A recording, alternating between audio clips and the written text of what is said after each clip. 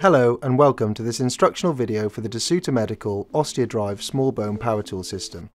This power tool system is designed for use predominantly in hand and foot based procedures, but is also suitable for a wide range of small bone, max facs and dental procedures. We have two handpieces available, both of which are modular and connected via a cable to an electric console. Firstly, we have the MCU pistol grip handpiece, and then we have the MCI pencil grip handpiece. We have three consoles available for the OsteoDrive product range, the PC470, the PC471 and the PC472. The one you select will depend on the requirements of the hospital and the types of cases that are likely to be carried out. The PC470 is straightforward, simple and is a plug and play system.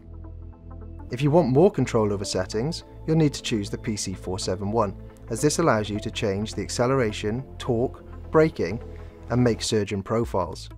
If you need irrigation for your system, you will need to choose the PC472. All three of the consoles have an intuitive design and are straightforward to use. They also operate a traffic light system that consists of four different coloured lights. Blue being in standby mode, orange indicating safe mode, and green indicating the tool is active.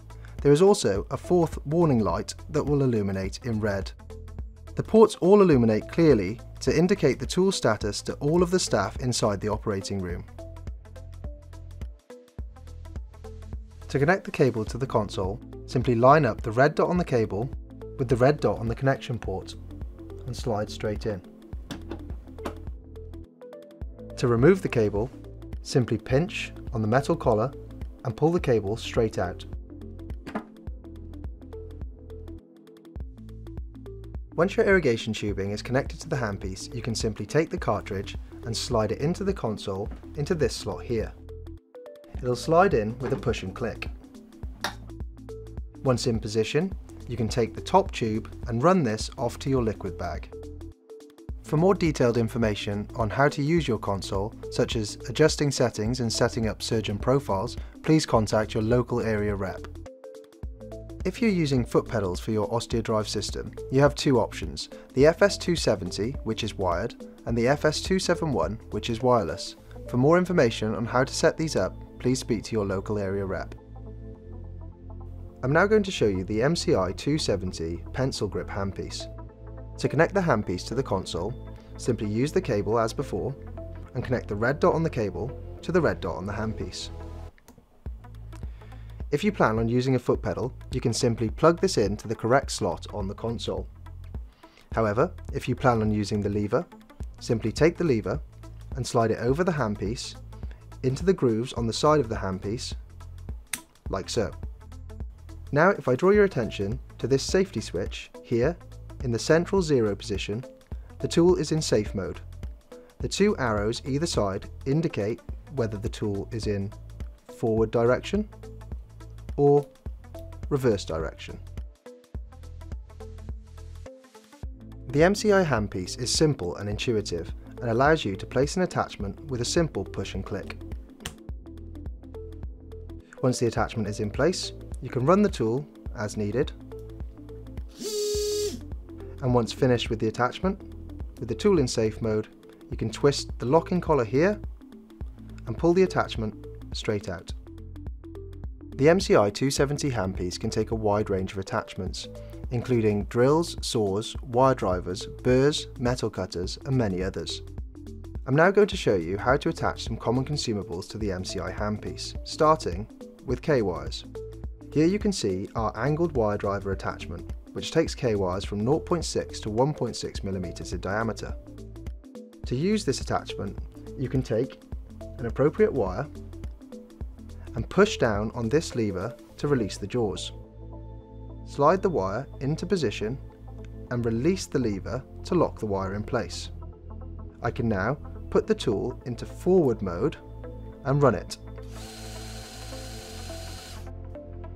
Once finished with the wire, press on the lever to release the wire and pull the wire straight out. It's also worth mentioning, we do have an inline wire driver, but this is not cannulated.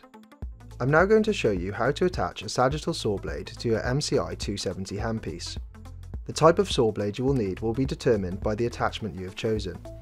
Here I have the SI270 button press sagittal saw. To use this, simply press the button on the bottom of the tool here to release the jaws.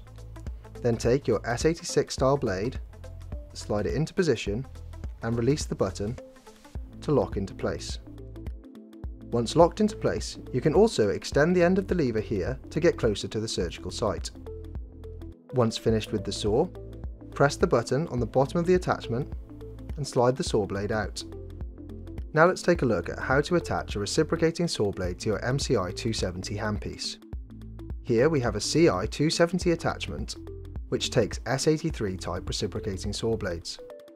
Firstly, release the jaws of the attachment by pulling the nose and twisting in the clockwise direction.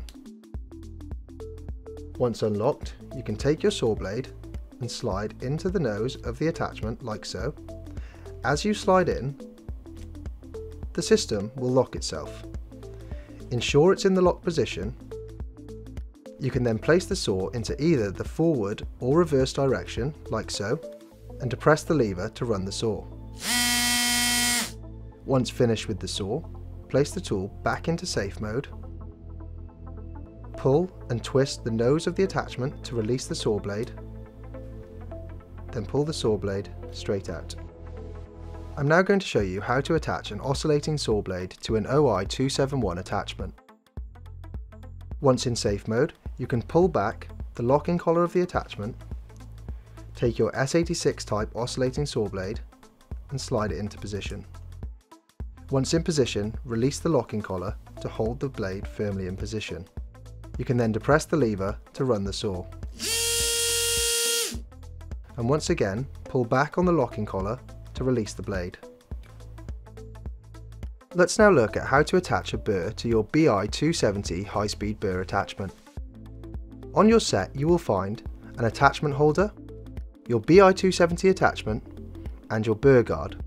Firstly, take the BI270 and place it into the attachment holder. You will then need to open this locking collar by twisting and firmly clicking open. You can now take your burr guard and slide it over the nose of the attachment and turn clockwise to lock into position. At this stage, you'll want to take your straight shank burr, place it into the nose of the tool, and twist this locking collar back to the lock position. You can now remove from the attachment holder and place the whole attachment into your handpiece like so. And then your high-speed burr is ready for use.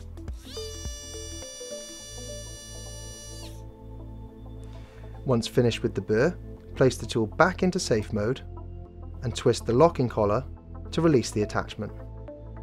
If you plan to use irrigation with your MCI 270 handpiece, you will need the PC472 console. This allows you to connect a T2100 irrigation kit via a cartridge. If you look at the nozzle at the end of the T2100 irrigation kit, you will see there is a blue magnet.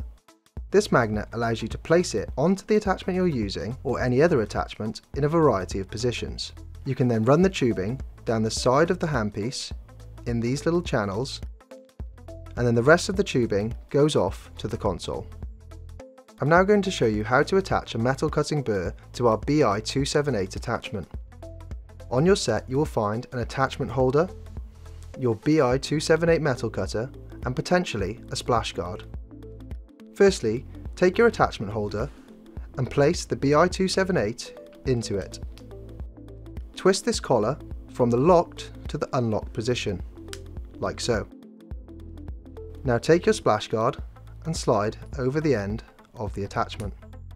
At this point, you can take your metal cutting burr, here we have a disc, slide it into the end of the attachment and find the correct orientation before twisting the locking collar back to the locked position. Once locked, you can take the entire attachment out of the attachment holder, then slide the whole attachment into the MCI like so. Once in position, you can turn the safety switch to the forward position and run the tool by depressing the lever. Once finished with the metal cutter, Place the tool back into safe mode, like so, and then twist the locking collar to remove the attachment.